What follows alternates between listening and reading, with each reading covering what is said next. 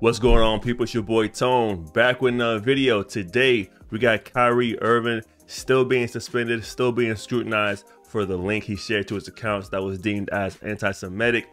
Now, we have some support from a lot of people across the board, but one person specifically I found kind of interesting. If this is your first time watching, make sure you guys click like, subscribe to this content. Let's get into it. Come on. Are you sorry for the hurt that your posts caused people? I'll take my responsibility for posting that. I didn't mean to cause any harm. I'm not the one that made the documentary. I think Right. uh, some of the criticism of the Jewish faith in the community, for sure. Some points made in there that were uh, unfortunate. Again, I'll repeat it for posting something on my Instagram or Twitter that may have had some unfortunate falsehoods in it. It's not that I don't believe in the Holocaust. I never said that. Never ever have said it. It's not come out of my mouth. I never tweeted it. I never liked anything like it. So just please keep that same energy when you guys are addressing me. Kyrie, for the record, do you have any anti-Semitic beliefs? Again, I'm gonna repeat. That question, I don't know how the crazy. label becomes justified because you guys ask me the same questions over and over again.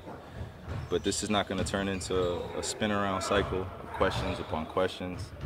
I told you guys how I felt. I respect all walks of life and embrace all walks of life. That's where I sit. So Kyrie has already apologized for posting the link, but as you can hear the reporter, he's just rephrasing his question to try to catch Kyrie in a gotcha moment. But Kyrie's a smart guy. It ain't happening. Let's continue. Kyrie Irving has been falsely labeled anti Semitic by the media. Mm. And not only that, he's been sent on this scavenger hunt to prove that he's not anti Semitic before he can return to basketball. He was suspended five games, and even the NBA PA has started to take notice. Hmm. Jaylen Brown have said enough is enough and decided to appeal the suspension. We can debate whether or not Kyrie sharing that documentary was a smart decision, but it doesn't make him a bad person and it doesn't make him anti Semitic. I'm gonna show a clip from Candace Owens. She explains it perfectly. I know some of you guys aren't a fan of hers, but just listen to what she has to say about Kyrie Irving. So here we have Candace Owens, who is also facing a little bit of backlash on Twitter uh, from her own constituents for supporting Kyrie. Um, but here in this video, she breaks it down thoroughly why she's doing it and where she stands on this whole topic. Let's get into it. it. is important. It's important to underscore, first and foremost, the absurdity of the media, the way that they are behaving in that press conference. They're essentially approaching him, pretending that every single word of the documentary that Kyrie Irving did not make, he has to answer for. Right. Could you imagine a world in which everything you watch, right, you are somehow now responsible for every single word within it? Notably absent, by the way, is the press going up to Jeff Bezos, who is the owner of Amazon, who, who runs mm-hmm. Amazon, and saying, "Hey, why did you allow this documentary to be on Amazon?" There are, there's no outcry. There's no None. everybody delete your Amazon accounts because of this documentary. They are putting this firmly and squarely on Kyrie Irving, which is problematic in the first place. And that's where a lot of the outcry comes from, right? People are upset because you are demanding Kyrie to pay half a million dollars um, and do all these steps and take all these things on this list in order to be reinstated into the NBA and be able to play in the NBA. Yet the person that's making profit off the movie and off the platform, you have nothing to say about him. There's no questioning. There's no conference. There's no, there's nothing. All right. So people see what's going on. Um, and it's a shame because it's kind of dividing us even more. But at the same time, it's bringing a lot of things that need to be spoke about to the light. They are putting this firmly and squarely on Kyrie Irving, which is problematic in the first place. I want to also make it clear that in listening to his words, it is pointedly ridiculous that they would say that he is unfit to be associated with. There was mm-hmm. nothing that he said, but I would say that he is unfit to be associated with because he very clearly condemns the falsities in the movie. He says, I do not think this way. He actually calls them falsehoods that are unfortunate, right? He says that that is not what I said. Do not attribute every word in this documentary to what my beliefs are. He also very clearly stipulates to them when they ask him, Are you anti Semitic? He clarifies that he's not anti Semitic. Now, why is Kyrie Irving saying that? Why is he saying, I can't be anti Semitic?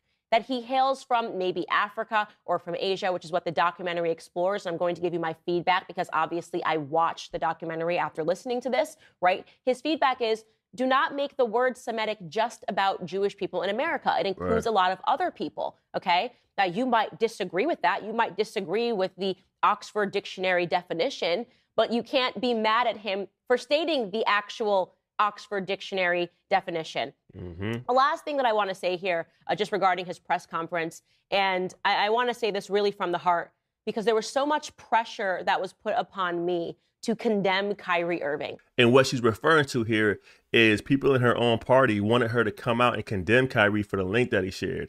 All right. But instead, she understood what he was trying to do. She understood he's trying to learn, trying to learn his heritage. And within that, she went against her own colleagues and supported Kyrie. right, to condemn Kyrie Irving based on this press conference, to basically decide that his pain is irrelevant. When I watched this press conference, I felt Kyrie's pain.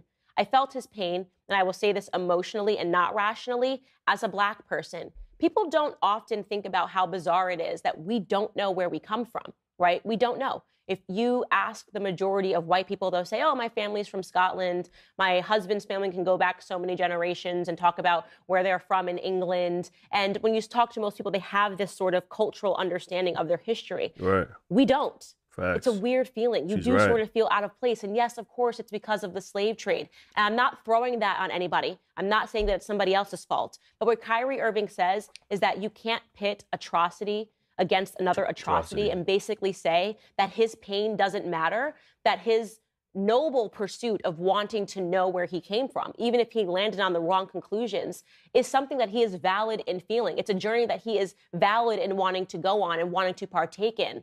So, no, I'm not going to turn my back on Kyrie Irving and pretend that he's an awful human being based on this press conference. It's wrong. There are a lot of people that feel that they are in pain from the Jewish community because they're upset that he shared this link. But also, if you're not paying attention, there are a lot of Black Americans that are telling you that they feel that they're in pain because you're telling them that they're not allowed to feel the way they feel about now about not understanding their roots. Now, whether you agree with her on most topics, on this one, she's absolutely right. 100% all facts. The support continue to pour in for Kyrie as we go over to Twitter. Um, some black Hebrew Israelites showed up, had like a march going on, and they were chanting, We are the real Jews. It's time to wake up. Let's see what's going on with this one.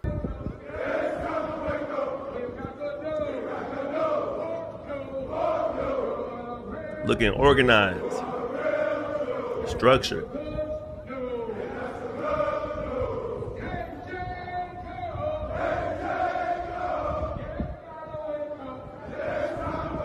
Time to wake up.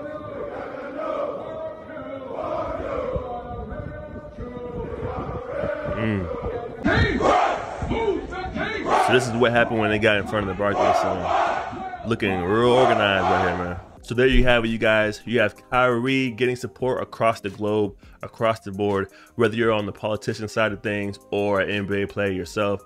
People are starting to wake up and realize um, we need to have a conversation, man. We all need to sit down and uh, you know figure out a way to practice our own religions without uh, being canceled if you disagree with me or I disagree with you. There has to be a middle ground. And the way they're doing Kyrie right now is absolutely ridiculous, man. And as always, guys, make sure you guys click, like, subscribe to this content. Let's get up out of here. Peace. If I should die at a young age, I thank the Lord for giving me a break. If I should die at a young age, I thank the Lord for giving me a break. Cause I probably live forever, ever, probably live forever, ever, probably live forever, ever, rather live